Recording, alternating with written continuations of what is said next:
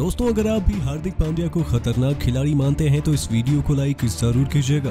दोस्तों, इंग्लैंड के खिलाफ सभी फाइनल में हारकर वर्ल्ड कप से बाहर होने वाली टीम इंडिया के लिए अब मुश्किलों का दौर शुरू हो चुका है।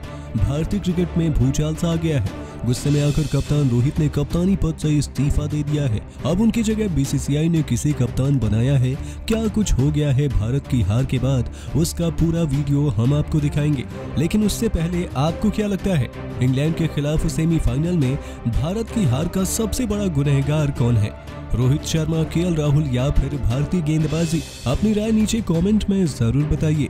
दोस्तों, जब साल 2022 का वर्ल्ड कप शुरू हुआ, तब सबको यही उम्मीद थी कि 15 साल के बाद टीम इंडिया इस बार चमत्कार करेगी और ऑस्ट्रेलिया में जाकर रोहित की कप्तानी में भारत विश्व चैंपियन बन जाएगा। इसके लिए बीसीसीआई ने ना जाने कितने पापड़ बेले। विराट कोहली को कप्तानी से हटाया पूरी टीम बदली। दिनेश कार्तिक को फिनिशर के तौर पर टीम इंडिया में शामिल किया गया। भुवनेश्वर कुमार, मोहम्मद शमी, रविचंद्र अश्विन जैसे सीनियर खिलाड़ियों को टीम में मौका दिया गया ताकि टीम इंडिया 2022 का विश्व कप अपने नाम कर ले। लेकिन बीसीसीआई के इन सारे ही मेहनत पर भारतीय खिलाड़ियों ने पानी फेर दिया और इस वर्ल्ड कप में भी वही कहानी दोहराई गई, जो हमेशा से चलती आ रही है। इंग्लैंड के खिलाफ भारत को जो शर्मनाक हार मिली है, वैसा वर्ल्ड कप में टीम इंडिया को कभी नहीं मिला था। इस हार पर रोहित शर्मा की कप्तानी और उनके फॉर्म पर जमकर सवाल खड़े किए गए। उन्हें कटघरे में लिया गया और टीम इंडिया के बाहर होने पर सबसे बड़ा विलन उन्हीं को घोषित किया गया। वैसे दोस्तों, वर्ल्ड कप में कोई भी टीम बाहर होती है तो उसमें केवल एक खिलाड़ी और कप्तान का दोष नहीं होता, बल्कि पूरी टीम का होता है। लेकिन यहाँ पर केवल रोहित शर्मा की जमकर आलोचना हो रही है।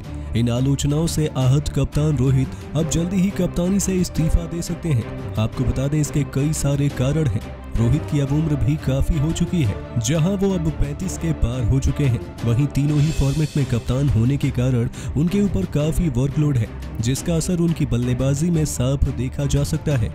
ये कुछ बड़ी वजह है रोहित शर्मा की कप्तानी पद से इस्तीफा देने की।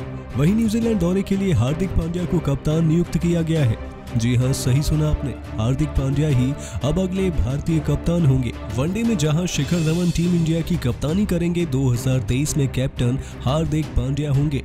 और वहीं पर दोनों ही फॉर्मेट में टीम इंडिया के उप कप्तान ऋषभ पंत होंगे। बीसीसीआई की सोच यहाँ से अब साफ़ नज़र आ रही है, जहाँ रोहित शर्मा के उत्तराधिकारी के तौर पर अब हार्दिक पांड्या ही टीम इंडिया के कैप्टन होने वाले हैं। साल 2022 के आईपीएल में हार्दिक ने पहली बार कप्तानी संभाली और अपनी टीम को चैंपियन बना दिया। गुजरात को उन्होंने अपनी शानदार बल्लेबाजी, गेंदबाजी और कप्तानी के दम पर चैंपियन बनाया और अब उनको टीम इंडिया की भी कप्तानी मिल गई है और वो दिन दूर नहीं, जब हार्दिक पूर्ण कालिक टीम इंडिया के कैप्टन हो जाएँगे। हालाँकि दूसरे ऑप्शन ऋषभ पंत भी है, लेकिन अभी तो उनको प्लेइंग इलेवन में भी जगह नहीं बन पा रही है। हालाँकि दिनेश कार्तिक के संन्यास के बाद ऋषभ पंत का रास्ता साफ़ हो जाएगा। तो दोस्तों, आपको क्या लगता है? रोहित शर्मा की जगह हार्दिक पांड्या को कप्तान बनाना सही फैसला होगा या नहीं? हमें अपनी राय नीचे कमेंट में ज़रूर बताइए। और अभी तक चैनल को सब्सक्राइब नहीं किया है तो ज़रूर कर लें।